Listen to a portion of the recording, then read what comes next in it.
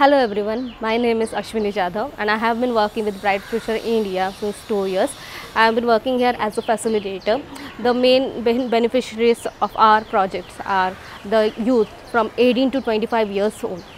They, they are majorly coming from the marginalized community where uh, most of them are drop, school dropouts or college dropouts.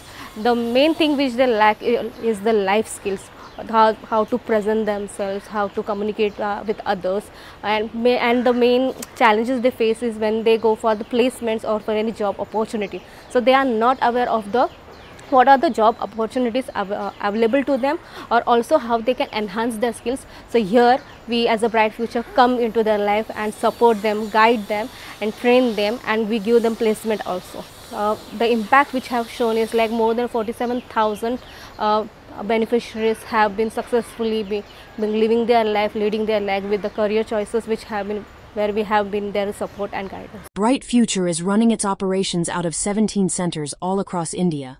It has engaged with more than 40,000 young people since 2009.